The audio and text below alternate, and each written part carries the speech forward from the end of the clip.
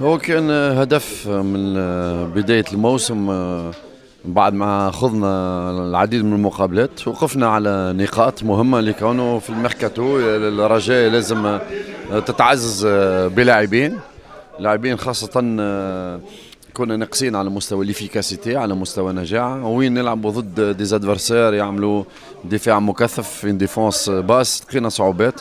ومن هنا كانت ضرورة قصوى بالنسبة لنا إحنا باش الخط هذاك نعزو